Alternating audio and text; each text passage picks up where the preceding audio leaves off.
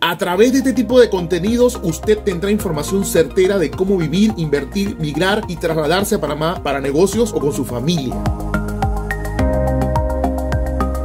Posterior a esta emergencia sanitaria, muchísimas personas están considerando trasladarse a un lugar seguro, tanto para sus familias como para sus capitales. La verdad, Panamá es una muy buena opción.